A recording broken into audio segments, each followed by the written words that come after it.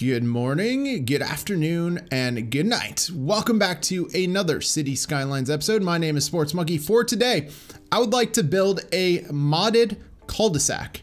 And I would also like to build a vanilla cul-de-sac. So what I'm gonna do first is I will create the modded cul-de-sac.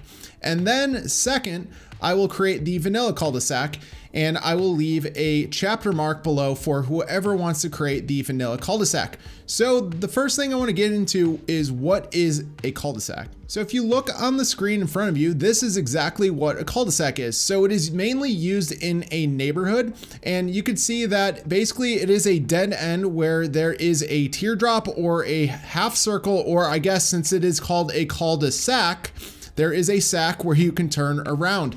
So we're gonna build that in our city. So like I mentioned, first we are going to build the modded cul-de-sac and you are gonna need the move it mod for this, the node controller mod and the multi-network tool mod. So let's get started with how to create a called modded cul-de-sac. So the first thing we're gonna do is grab a small road. We're just gonna go all the way up to here. There is no dimension. It doesn't really matter. So now that we have that road stretched out, we're gonna zoom in and we're gonna create, we're gonna go to our unified tool belt. The unified tool belt has the network multi tool right here. And so we're gonna click on that and we're gonna hit the plus button, which is gonna add a node. So we're gonna get as close as possible. So see how it is green?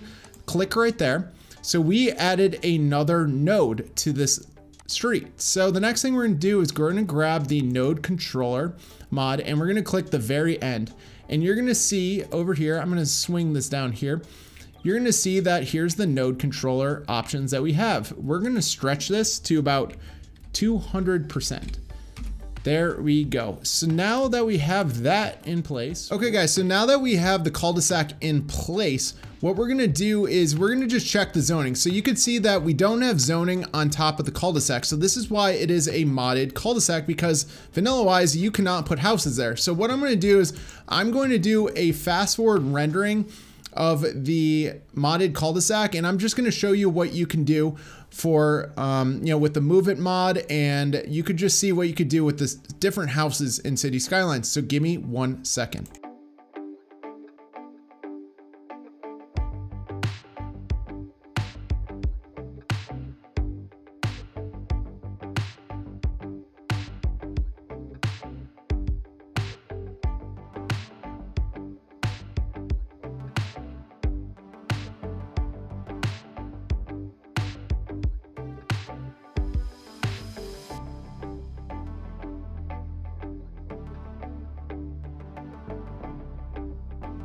So guys, if you have any questions on how to do this, please let me know in the comment section below. But basically I just used the move it mod and essentially I did place down some of the housing and stuff like that. So I just placed it since there wasn't residential, I just used the move it tool. So essentially I could do exactly what I did kind of over here.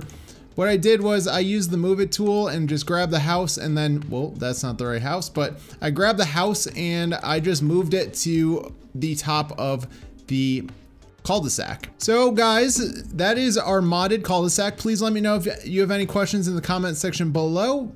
Thank you very much for watching. Okay guys, so if you're in this part of the video right now, you want to see a vanilla cul-de-sac. So this is very vanilla. It's not perfect, but it's the best you can do if you're playing City Skylines on a PS4 or an Xbox. So what we're gonna do is we're gonna grab a single one-way road and we're just gonna go up about 560, which that's I don't know. It doesn't matter how long it has to be. So what we're going to do is we are going to grab a medium sized road.